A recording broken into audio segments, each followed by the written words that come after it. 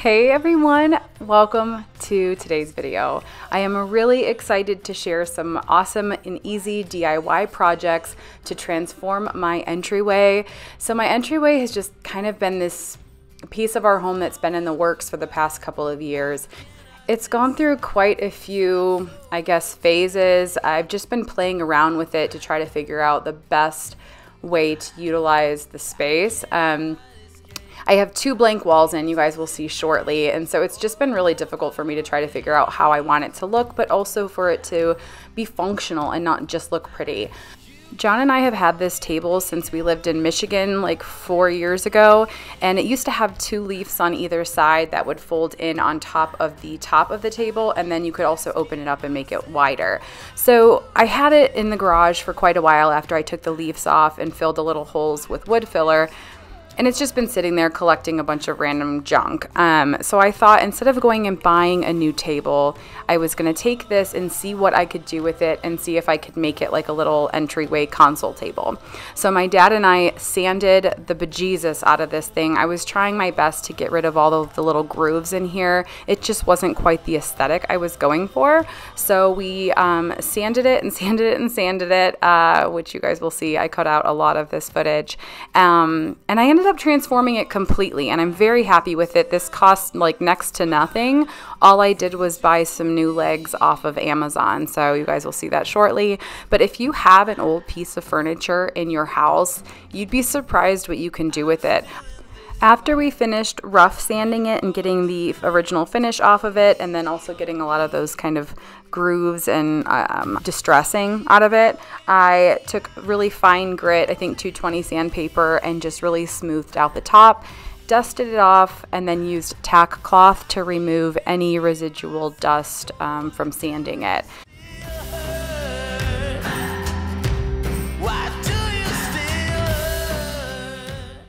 I then went in with my favorite finishing wax and natural. This is just going to help seal and protect the wood and it looks beautiful. It does a great job of sealing it and protecting it, like I said, but without giving it a shine or like an artificial look. It just looks like a nice, beautiful, natural piece of wood in the house.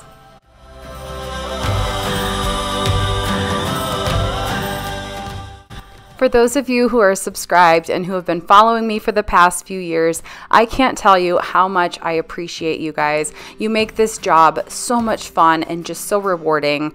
If you haven't subscribed yet, but you've been here and you like these types of videos, please hit that button right now before you leave. It doesn't cost you anything, but it helps my channel out so much. So this is what our entryway currently looks like. It's like super lackluster. It collects a bunch of junk and just really isn't very functional. It was just kind of a temporary thing. I was just trying some things out, but obviously it didn't work. So I'm just gonna go ahead and remove the bench that was actually part of our old table that's in the basement, clean off the radiant heaters, remove the mirror, and get to putting this thing together. don't know. I just if I'll dance with the lights on. If you're gonna be moving on solo, wait a second, cause they're playing the best song. I'll be there if you reach out to me. I really tried to use items I already had in my home. Like I said, John and I have had this table for about four years and we've used it for a lot of different things and it's gone through a lot of changes as well. This mirror I've had for about a year now. I found it at Home Goods for I think maybe 40 bucks. It was a great deal. No, it wasn't 40. I think it was 70, but still, it was a great deal. It's a beautiful solid mirror, and it's been sitting in my office on the floor. I knew eventually I would find a place for it. I just didn't want to pass it up. So it ended up working perfectly in this space. I just threw in some drywall anchors to make sure it was super secure because it is a heavy mirror. And all of the items I got to dress the table are from Walmart. I recently did an Instagram collab with them. So if you guys want to see, I do a lot of reels over on my Instagram as well. Make sure you're following me there. I actually did this whole entryway reveal over there before I did it here today.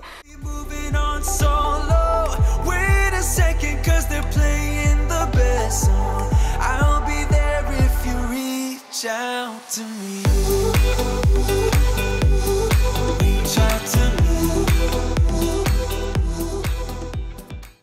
Though I truly feel like I improved the look of this table like tremendously, it still didn't quite match the aesthetic of the home, or at least the base, like the legs didn't. So all I did was go online and I found these beautiful solid iron hairpin legs and I got the size that I needed. They cost $39.99 for all four of them and I changed out the base of the table. It ended up being the perfect addition to our entryway. It was exactly what I was looking for without having to spend like two or three hundred dollars. If you guys have ever looked for like an entryway or console table online, they're not cheap. And maybe I'm just cheap, I don't know, but I knew that I could create something that I wanted for a fraction of the cost. So if you guys don't already have a table that you could kind of tear apart and sand and stain, you could easily go to Home Depot or Lowe's and cut a piece of wood to the size that you want, sand it and put a beautiful stain on it and buy some legs. You don't have to get hairpin legs. There are all kinds of legs online that you could purchase very inexpensively and you can create your own table for next to nothing. So, just a little tip um, you don't always have to buy something brand new. Put a little elbow grease into it and make it and be proud of it. I love the way this turned out. It's nice and airy, it doesn't look bulky in the space, and it's got so much character to it, and I'm proud of it. So, that to me is just priceless. So I did have a little fail here. I decorated the table before I changed the legs out, before I was like, oh, I just really need to change those out. And then I forgot to film that part, but I'm not perfect. YouTube is not perfect. You guys will see it all put together after this. I'm thinking about him all the time. I'm thinking about him all the time, all the time. And so now, like I said, this is a total entryway revamp. I have two weird walls in my entryway. Most people have one, right? And it's like, okay, you put up a mirror, you put in a console table, you whatever, it looks great. I have two walls. Like, what do you do with this? So I think I have finally figured it out. This has always been temporary. It's always been like, what do I even do with this? It used to have a bench there, and it's where we would take our shoes off, but it just, I don't know, it didn't work out. So I brought this uh, dresser in from our uh, what used to be the breakfast room, which is now the prep, prep kitchen, and I just slid it in here just to get it out of the way, and it's become a catch-all. So what I finally decided to do with this space is create a DIY Halltree. I want a place where my guests can come in and know, okay, this is where I can put my belongings. I feel comfortable here. Like, come on in, welcome, Mikasa, Isukasa, as it were. And I finally decided to do it. So I'm doing a DIY Halltree, if that's what we can call it. It's not modular, it's mounted to the wall, but that's what it is. So I wanted to walk you guys through this in case you have an awkward wall in your house or you don't really have a place where your family or your guests can hang up their jackets and set their shoes or their backpack after school. This is a great option and it looks beautiful too, and it was pretty inexpensive. So I'm gonna walk you through it. Today's video is gonna be a little bit more chatty than usual. Typically, I just play a bunch of music and let the video speak for itself, but I really wanna be able to help you guys if you need it.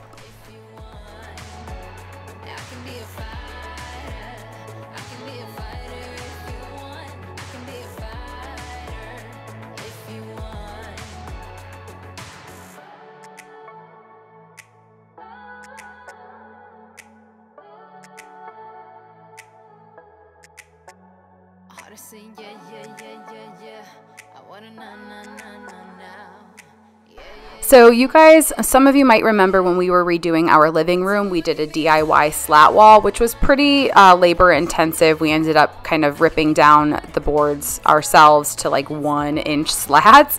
So, today I'm going to be doing a slat wall here for our hall tree, but I knew I wanted it to be much easier because I was doing this completely by myself and I was on kind of uh, time constraints. So anyway, I took this the paint that I already had downstairs, I was painting the cabinets for our prep kitchen in the Benjamin Moore backwoods. So we have this color in our kitchen. It's then moving into our prep kitchen and I'm putting it on the backdrop of my slat wall here to just give it a more of a cohesive feel because the sight lines from all of those rooms like they flow you can see all of the spaces so i really wanted it to feel cohesive so this gave it a little bit more depth to and more visual interest and made it feel a bit warmer than just keeping the wall white like we did in our living room. So i like i said i already had this roller and this brush all wet with paint downstairs. So instead of getting a big old roller i just worked my butt off with this one. It didn't really matter anyway. I'm covering the majority up with slats but I love this color. You guys know I'm I could paint my whole house this color, but we won't because I already put a lot of work into painting it white. Uh, but anyway, so you can either keep the wall whatever color you have, or you can give it a little bit of a punch by painting it black or giving maybe a bold color, um, like a pop of color. It doesn't matter. I just chose that because it made sense to me. I then went in with a piece of select pine. I believe this is six inches wide and it was eight feet long, and then I cut it to size. This is just going to serve uh, as the board where I hang the hooks for our jackets. Um, we started by just using a brad nailer to secure it to the wall, and eventually I do take two drywall screws and I put them through the studs. That way it can really hold quite a bit of weight. You can see that I'm already getting so excited with this space. I'm very proud of the fact that I did this almost completely by myself. But this is the part that I chose to do to make my life super easy. So all of the wood that we chose is select pine. It's a little bit more pricey, but it's you don't have to do much to finish it off. It's very beautiful and it just takes a tiny bit of sanding in some areas.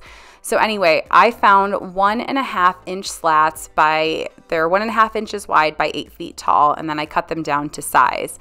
But the slats that we did in the living room, we ripped down ourselves to one inches and it was very time consuming. I wish I would have seen these, but such is life. But to make your life easier, if you want to try your own slat wall, Home Depot, maybe even Lowe's, carries the Select Pine. It's one and a half inches wide by, they have six feet long, eight feet long, and maybe even a 12. I chose the eight feet because it made sense for my project. Um, but I didn't have to rip these down. They were already a beautiful width. And even though they're a half inch wider than the ones in my living room, when you stand back, you don't really notice it. It's not a big deal and it looks beautiful. So you guys could do this in an afternoon if you didn't have four kids running around. This took me almost an entire week, but I'm really proud of this project. Uh, so basically to create your slat wall, you you measure out the wall and you kind of calculate how many slats you're going to need based off of the distance that you want in between each slat. The easiest way to do this is to just turn a slat on its side and use like the depth of it, which I believe was three quarters of an inch, but it works perfectly because you can just take your slat and turn it on its side and run it down and push it in between each one of your new slats. So you can obviously see what I'm doing. Explaining it doesn't, it's not my forte. But basically, I took the slat and I turned it on its side to measure the depth and pressed it in between the old slat that I had already nailed down and the new slat that I was nailing. And you push it together super, super tight to ensure that they're perfectly straight. And that's it. Voila, you pull it out and you're good to go. We could get out of town, see the beautiful world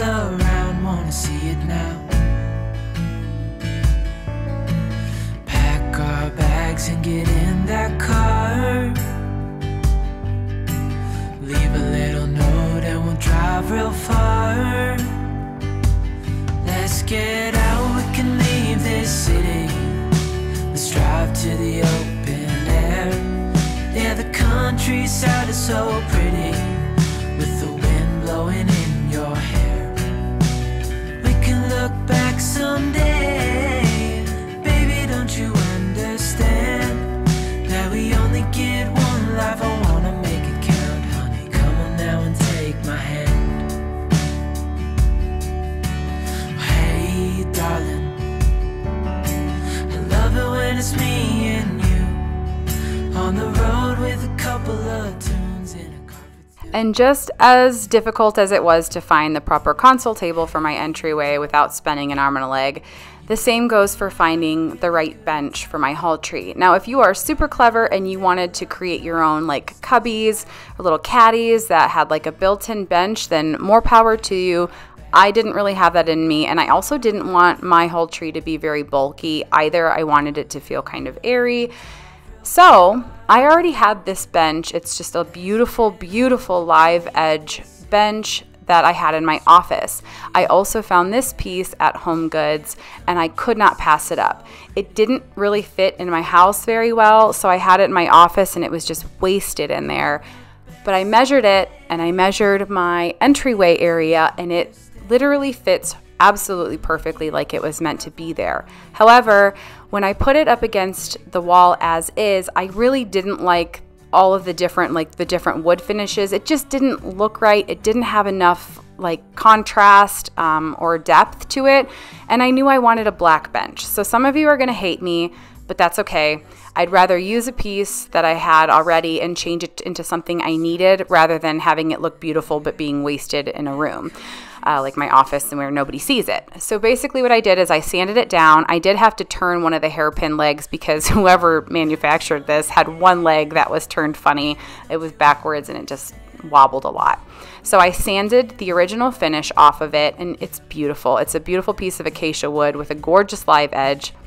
But I'm gonna go ahead and stain it in this classic black. I knew I didn't want to paint it. I thought that would totally ruin it and then it paint chips and it looks cheap. So I went in with a black stain. This way I could still see um, a lot of like the natural wood grain and it would still have beautiful character to it, but it would have the look that I was going for for the entryway.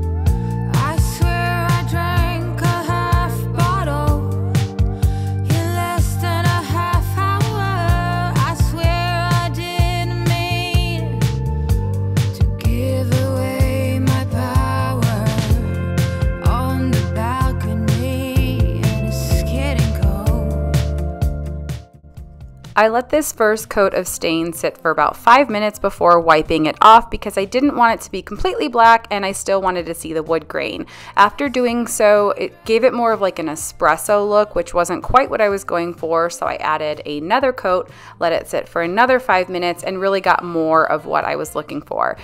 Now, I do know that most of you aren't going to have a bench like this just lying around in your homes. And because I do want this to feel more of like a, a DIY project that you could do yourself, this is another project like the console table where you could go to your local, you know, the lumber store or whatever and find a piece of wood. You could do the select pine, you could even do like cheap MDF and paint it cut it down to size, paint it, seal it, and add legs to it. And it would be very inexpensive and would still give you a gorgeous, custom, inexpensive piece of furniture. You're going to be sitting on this, you toss a few toss pillows on it, or a little blanket, or a little like basket with a plant on it, or whatever, and it's going to look great. You just have to put a little bit of creativity into it and a little bit of elbow grease.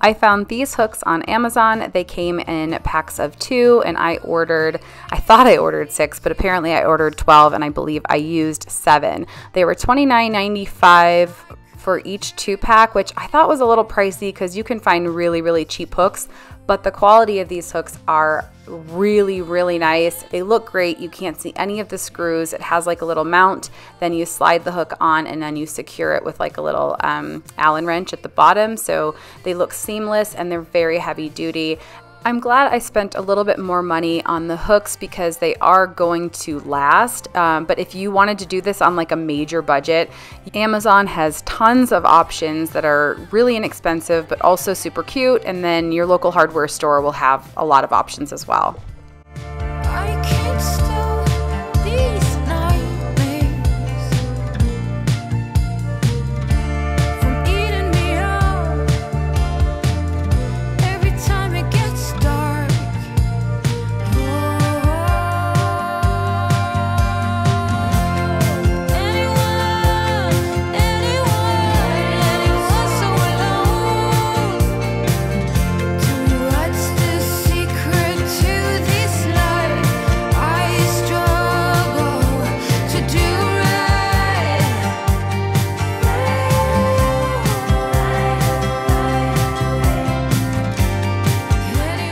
All right, we're gonna have a little chit chat here. Uh, like I said, I did end up securing this main board with a couple of drywall screws and I screwed them right into the studs. That way it would hold um, as much weight as we wanted to put on here and not have to worry about it popping off. So I ended up going the extra mile on this project and I got some wood filler and I filled in where I put the screws, and then also every single tiny little nail hole, um, except at the very, very, very, very bottom of by the baseboard. Um, I filled all of the holes because I didn't want to see them. I'm also creating an Instagram reel. That's why you see my phone. I wanted to fill the holes because this is something that you see when you walk right into the house. And though those little teeny tiny holes don't bother me, we did not fill them in the living room and you I don't notice them if I'm being fully honest. You don't have to do this step. I actually created way more work for myself in doing this. Um, it didn't sand down as easily as I thought it would, and maybe it's the wood filler that I chose. It was very heavy duty. So once I started this project, you guys will see my face. I was actually pretty upset because I had to sand down this piece of wood that I loved. I loved the natural look of it. It was beautiful. But because now I have all these sand marks, I had to go through and basically refinish this entire project when I was basically done with it. Uh, I will say now that I finished it, I'm glad I did, but it's not necessary to do this. So I basically ended up filling all of them and then I took an 80 grit sandpaper to really get all of that wood filler off because like I said, it's very heavy duty and required like two days of sanding all of it off to where you didn't see all of the excess wood filler. Obviously, I know I could have used like a hand sander, but I really didn't want to bring a hand sander in my house. It's just, it leaves so much debris everywhere and would be really unhealthy for the kids. So I used my hand after they went to bed. Once I got them all sanded down, which to you looks like five, I don't know, 50 seconds. To me, it was two days. Um, I dusted all of it away and then I went in again with my natural finishing wax and sealed everything. And it looks fantastic. Nobody's going to know how much energy I put into this, but my wrist does. And it, it hurt a lot. Uh, but I'm glad I did it because now it looks like it was done right and it was done professionally rather than just kind of unfinished.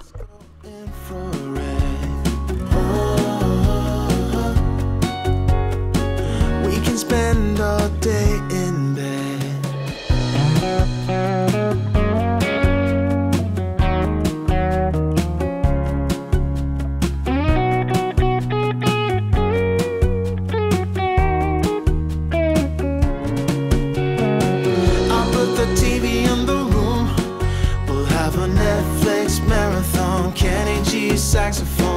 We'll order in a bunch of food. I'll put your favorite music on all the way baritone.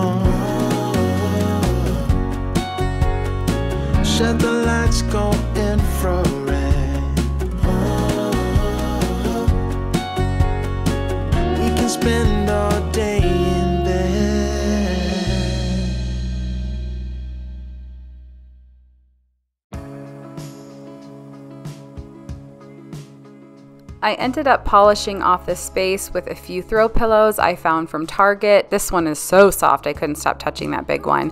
Um, we'll see how long it stays cream. But anyway, uh, and then putting up all of their jackets just like totally melted my heart. You guys, they're so tiny and so cute. Everybody's got two hooks, one for a jacket and one for a backpack. Even Birdie has a hook for her leashes. But obviously it will be very easy for us to put our jackets in the closet when we're having company over.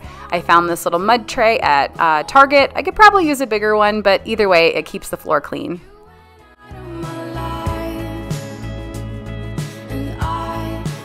Jeez. Do you like it, buddy? Do you like it? Yeah? Hold on.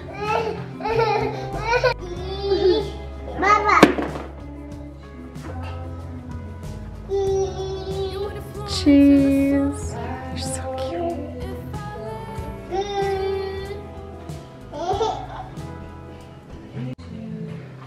Super functional.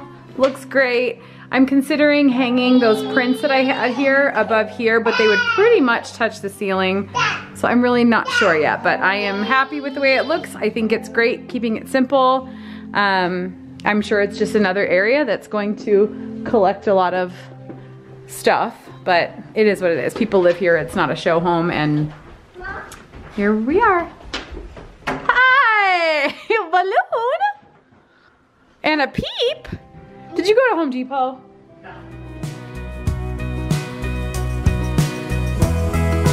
Started